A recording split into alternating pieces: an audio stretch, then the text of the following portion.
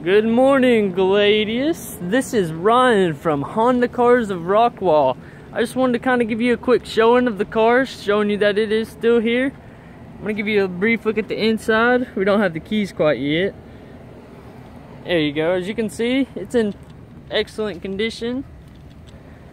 But my number is 903 461 8233 and we are located at 1550 East Interstate 30 Rockwall, Texas.